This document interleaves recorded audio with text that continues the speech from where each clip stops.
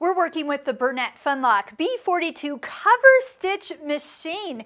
And if you've just opened it up, I want to show you from the beginning threading this machine. So this is so nice. Actually, because it's a cover stitch only machine, there is some very simple features. Uh, we are going to thread up originally with all three needles, which are currently in the machine. And then down below, there is one looper we'll be threading and everything's color coded. Now, if you have just opened opened up your machine, it might look a little naked back here. So I just thought I'd come around to the back. And then also too, note that if you are putting it back in the box, this is something you can actually take off so everything in the styrofoam um, kind of sits back correctly. So this was actually in the top part of the box, so it is removed if you're transporting it there. So you can kind of see that there's just a little levers and then just slide it until it clicks and then to take it off it's just the opposite way. So we're just going to set that down, click it in place and then this part here just find the little opening and that will sit all the way down. Next this is usually telescoped down so make sure you bring it all the way up to its highest position and um, align the top with the set of threads.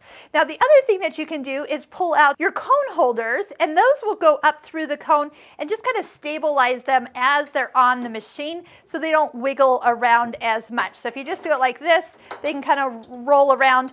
And if you're using smaller cones of, or smaller spools, like a sewing machine size spool, there are little spool caps that you can use for that. So I'm actually putting on actual coded and color coded thread. So I'm putting um, the pink where the kind of the purple is, there's a blue, a green, and a yellow. So you'll be able to follow along exactly with my threading and also what the final results are. Start by making sure that your presser foot is up. Now when you reach back here, it will feel opposite than your sewing machine. And that's because when you have fabric going through, you don't want the handle down and catchable, you want it up and out of the way. So it'll feel opposite, but just make sure that that presser foot is up because then all these tension discs open up. You will notice that there is a threading order recommendation right here on the inside, and it recommends that I start with my cover stitch color. It's noted as kind of that purple color, but today I am pink. So I am taking my thread all the way up to the thread stand, and then I'll bring it down to the guide here. One thing nice about the guides is that they're actually all open. So if you forget one, you can just easily kind of rehook it in. Um, you don't have to start over. So all the guides will be the same here, just take your, your thread and kind of give it a little floss and then underneath this little button. And you can even just make sure that it gets down in these tension discs. Just go ahead and give it a little pull or flossing here. And then go ahead and follow the guides that are all labeled purple. Now I'm a fan of tweezers, so they're always sitting right here. You can get a, hold of them. So again, just make sure that you're following the guides. There are a few extra guides that are not color coded in here. So for this one, take your thread and you're gonna go clicking it from the top down. But for this one, we're bringing it from the bottom up. The next part, make sure you come under it completely. You're catching not only the, the metal loop, but you're also catching this little spring action guy here too. Next, make sure your needles are up. And our last little guide is right here. And we're gonna just take our thread and come up from the underneath side and it'll hook right in. Now there's a place way in the back of this looper, kind of like back where his elbow is, that you need to also thread. But there is a little place that we're going to be lifting and it's going to take the thread to the back. Now here's a little trick. You can actually do it right here. You have to kind of slip it behind and get it to lay in that little notch. Or you can actually take the thread, thread it through the looper itself and kind of pretty much skip that for a second and then bring that lever all the way up. I'm kind of holding this thread with a little bit of uh, resistance and then it'll just take it all the way, lift it until you can't lift it anymore and then it stays in that little back elbow. You know you did it right when the thread lays in this groove here. Now here's the part you're to love. When you're done doing a cover stitch looper, all you need to do is leave yourself, oh, three, four inches of tail of the thread and just let it dangle right here. Don't even worry about where it is and close the door. Don't even think about it because it's gonna come up when we take our first stitch. Next, we just have needles, our left needle, center needle, and right needle. And it really doesn't matter which order you thread them in. And you can even kind of bring all of the threads up to the top at once and then get them ready to be threaded. Now, of course, we can do a cover stitch with just two needles, and then of course, we'll be doing our chain stitch with only one needle. So it just depends on which one you're actually using.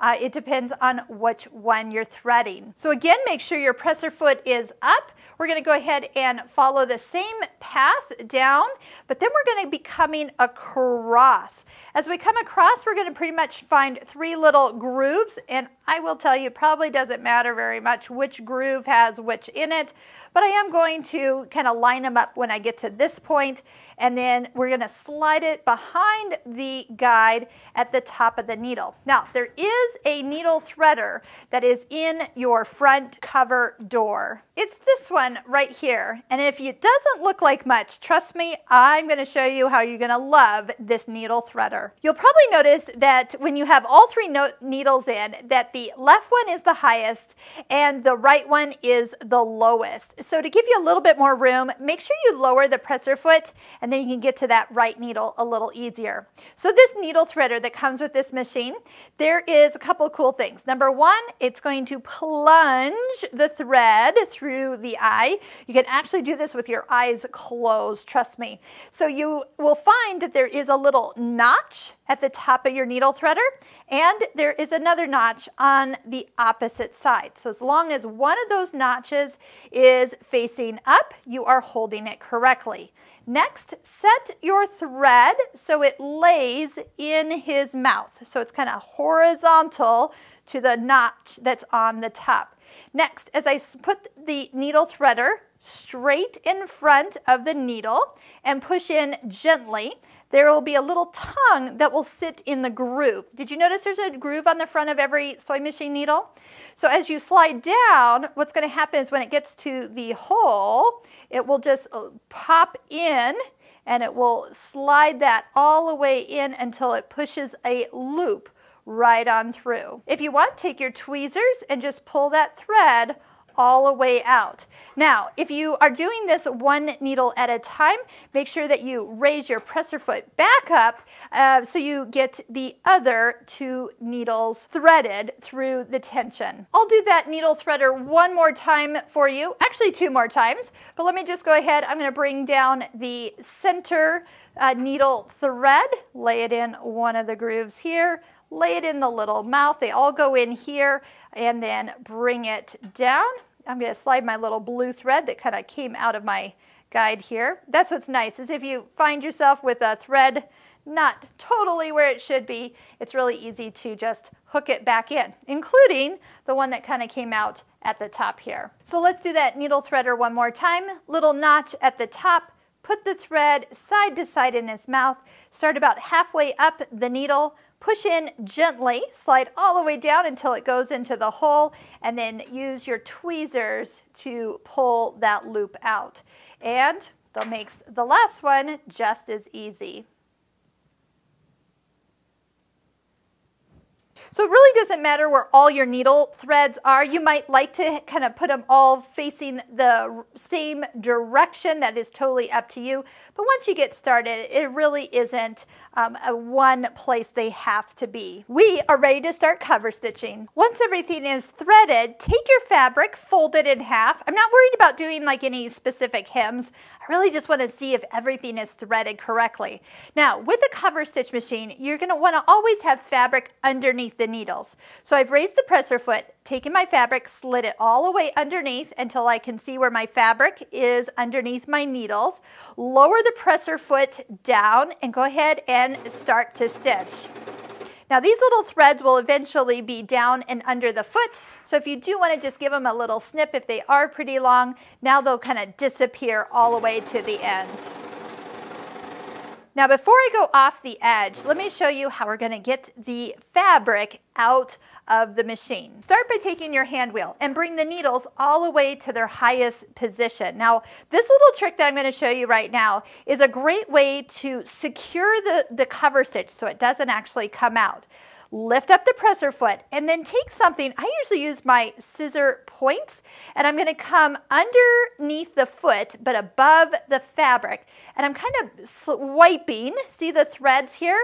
And I'm swiping them so they can come out and then I'm going to clip them. When I clip them and then pull out the back side, it magically knots on the back here. Now I'm still connected to that cover stitch, so you do get to clip twice, once at the beginning and then once here. But what it does is it locks this so it doesn't come out anymore because that's the one that will come out if you do want it to release. But this is what a three needle cover stitch seam looks like when everything is threaded correctly. Now, if it doesn't look this pretty, we might need to just adjust a little bit of the tensions to make it look lay and lay nice at the top, and then also to make it look nice and smooth on the back.